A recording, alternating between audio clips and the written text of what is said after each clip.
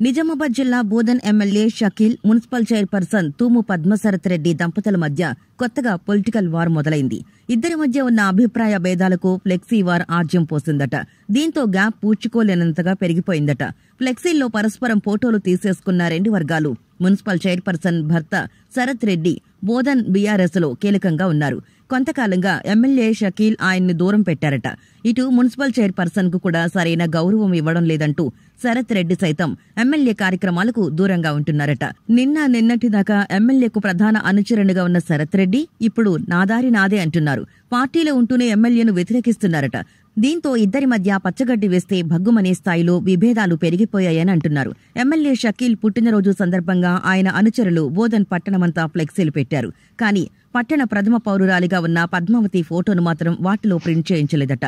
దీంతో చైర్పర్సన్ దంపతులు సైతం ఎమ్మెల్సీ కవిత బర్త్డే సందర్భంగా ఏర్పాటు చేసిన ఫ్లెక్సీల్లో ఎమ్మెల్యే షకీల్ ఫోటోను వేయించలేదట.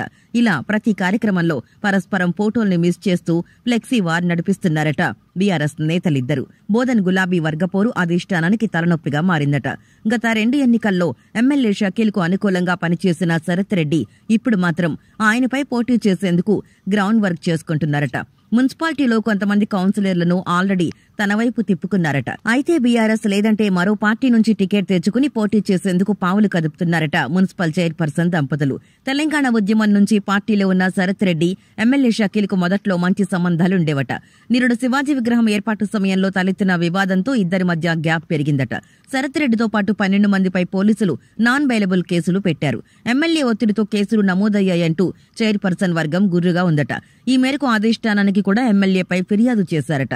ఎన్నికలు సమీపిస్తున్న టైంలో ఈ వివాదం పార్టీకి నష్టం కలిగిస్తుందని మౌనంగా ఉండాలని ఇద్దరికీ సూచించారట పార్టీ పెద్దలు. వివాద పరిష్కారం బాధ్యతను మంత్రి ప్రశాంత్ రెడ్డికి అప్పగించిందట అధినాయకత్వం. మరి ఈ వివాదం ఇక్కడతో సమసిపోతుందా లేక ఇంకా పెరుగుతుందో చూడాలి.